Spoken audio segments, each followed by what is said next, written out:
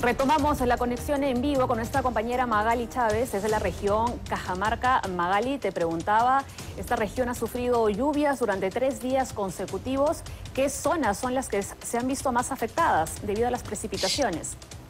Muy buenos días, eh, Pamela. Sí, para informar, eh, justamente el día de hoy amanecido también eh, lluvioso. recientemente ha pasado la lluvia. Bueno, hasta el momento no se ha detectado que haya algunas pérdidas, pero en realidad está en peligro. Hay zonas que están en peligro, ha llovido tres días seguidos y en, eh, más que todo en distritos, donde nosotros hacemos el llamado a las autoridades para que lógicamente pues vayan preparándose, preparándose ya porque la llegada del fenómeno del niño está aquí, eh, eh, más que todo en la sierra, donde justamente pues hay el desborde de ríos. Hasta el momento no se ha, no se ha visto pérdidas, pero en realidad ya estamos preparando, haciendo un llamado a la autoridad, lógicamente, para la limpieza de, las quebradas, de los ríos, para evitar que haya desbordes y haya, lógicamente, pérdidas, eh, tanto económicas como vidas humanas. Y también, lógicamente, hacemos este llamado a las eh, personas, a la población, a, a mantenerse informados, a mantenerse con calma. Si es que llegara a pasar, lógicamente, hay que dar aviso a la autoridad, hay que estar preparados, ya sabemos que tenemos que tener nuestra mochila preparada para evitar, lógicamente, de que haya, eh, eh, lamentemos, pérdidas humanas. Eh, siempre recordándoles este tema muy importante. Además, en provincias se ha registrado lluvias como en la provincia de Santa Cruz, en Chota, en Bamamarca, donde ha llovido fuertemente, ¿no? Ya se conoce que la sierra es eh, lógicamente pues la zona más lluviosa en Cajamarca y en provincias, esperando lógicamente, bueno, que la autoridad tome cartas en el asunto, ¿no? Y lógicamente pues en eh, donde las lluvias ocurre en la sierra y va discurriendo hacia la costa norte, donde lógicamente pues se van afectando, ¿no? Entonces también las autoridades de la costa eh, norte hay que tener ya preparados, ¿no? Hay que ir preparándonos porque en realidad ya el fenómeno del niño ya está aquí, entonces hay que nosotros también, tanto los medios de comunicación que también estamos eh, invitando a la población, dando información, dándoles a conocer de que tiene que tener en cuenta y lógicamente prepararse ante esta llegada, ¿no? Lo que es natural, eh, las lluvias de la ciudad de Cajamarca y en provincias. ¿Y ¿Alguna pregunta? Sí, hablando precisamente del fenómeno del niño, ¿cómo van las obras de contención justamente para hacerle frente a este fenómeno?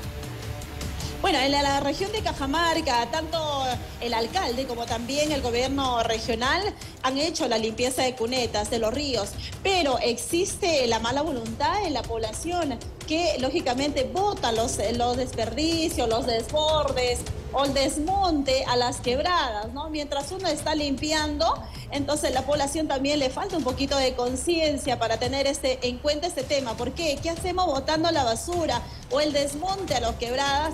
Porque lógicamente cuando viene la lluvia eh, terminan desbordándose, ¿no? Entonces obstruye el pase y no, y no hay libre corriente para que lógicamente el agua pueda correr, ¿no? Entonces ese sería el llamado también a la población que tenga un poquito más de conciencia y eh, tanto de no ensuciar los ríos, también hay que verificar en las casas, las cunetas, hay que ver las cunetas, hay que ver las casas, más que todo en provincias donde la, hay fuertes lluvias, donde hay lógicamente pues eh, eh, terminan desbordándose los ríos y las casas también terminan cayendo a veces por las goteras, ¿no? Entonces hay que ver ese tema de las goteras, sería importante en provincia, ¿no? De esta manera se viene trabajando en la ciudad de Cajamarca y lógicamente nosotros también estamos eh, haciendo el llamado a la autoridad para que eh, sigan trabajando en este tema y eh, no terminemos con algunas pérdidas humanas, lo que no se quiere definitivamente.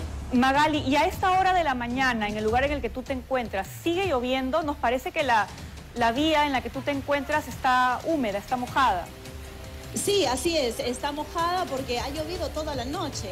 Ha llovido toda la noche, más o menos hasta las 2, 3 de la mañana. Ya, eh, y justamente todavía se siente el clima húmedo, ¿no? Todavía se puede sentir que cae una ligera llovizna pequeñísima que solamente se siente lógicamente pues en esta zona, ¿no? Entonces, en realidad eh, Cajamarca cuando llueve fuertemente llueve, ¿no? Son eh, días de lluvia, dos a tres días, o eh, durante toda la noche, todo el día, y son lluvias bastante fuertes que se puede ver en la ciudad de Cajamarca. Para ustedes esta es una lluvia ligera, entonces. Sí, sí, sí, sí, una lluvia totalmente ligera.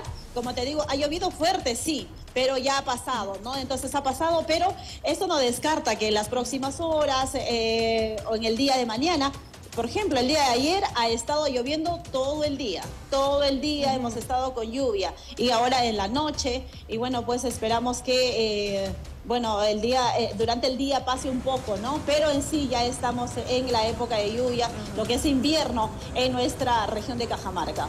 Y es una lluvia que los agricultores y los ganaderos de Cajamarca agradecen, es decir, es una lluvia que se necesita para mejorar los cultivos, para que crezca el pasto para el ganado.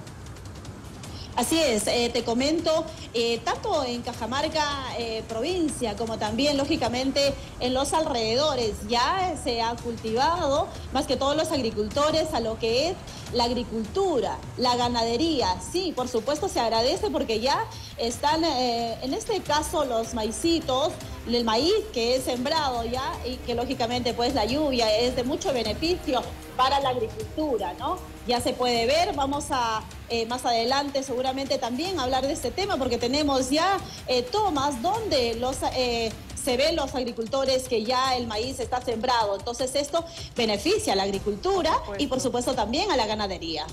Bien, Magali, te agradecemos mucho por la información. A cuidarse entonces, las lluvias son las eh, que se están presentando en esta época del año con eh, cierta intensidad, eh, pero eh, hay que tomar las previsiones del caso también para evitar que haya algún problema a raíz de estas inundaciones que se pueden presentar también.